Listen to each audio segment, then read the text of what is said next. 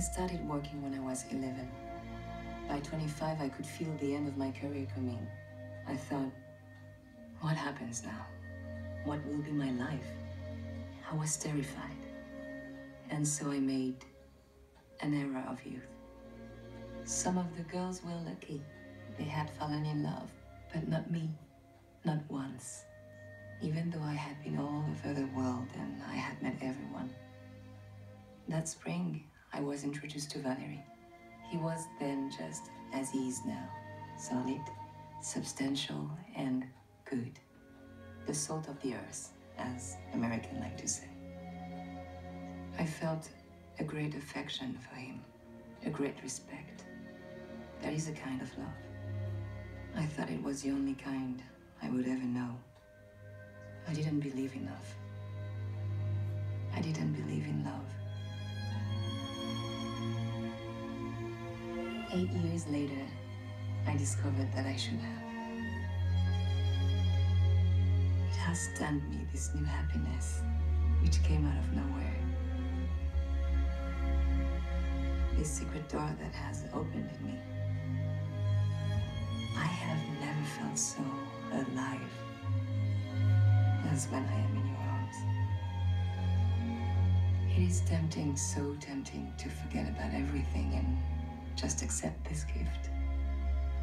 But I cannot.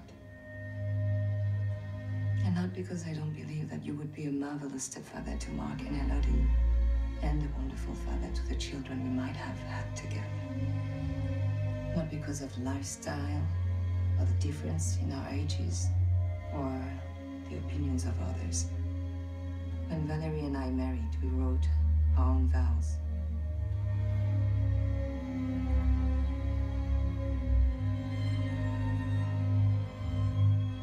Me sera toujours plus cher que le mien. He has always kept his promise, and I feel I must keep mine. But it's more than a matter of honor.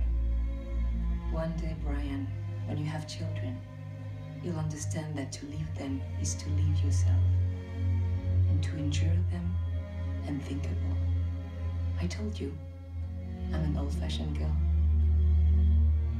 Please do not try to contact me. It will not change anything. I am so sad to say goodbye, to be parted. I can't believe it, really. We had so many adventures still ahead of us. Maybe if we had had more time, I would have found something about you that I didn't like, really couldn't stand, which would be very useful right now. But I doubt it. They say that no love is perfect. But then, they never met you.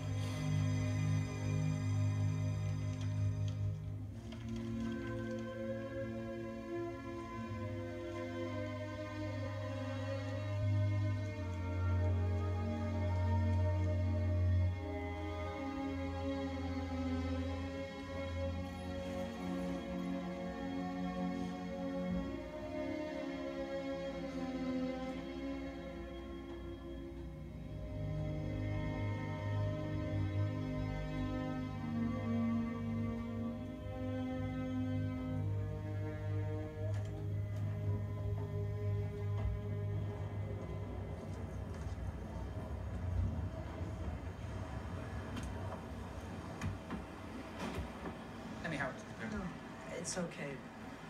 But if I may impose for a favor, sir. please give this to Madame Pierpont when she comes for lunch on Friday. Certainly, sir. Thank you.